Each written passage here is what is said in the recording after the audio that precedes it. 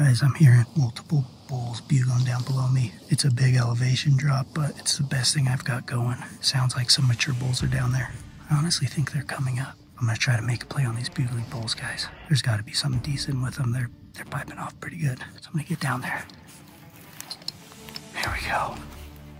I got over here and immediately saw elk. Lots of elk. Sounds like I should have stayed where I was. All the elk are now on the backside where I just sneak over, see what I can see. Alright, guys, I got this bull right below me at 250 yards. It's pretty sweet. A bunch of elk down here, it's a perfect shot opportunity. And I can do it solo. Might have to take him. Freaking what a night. Both down there.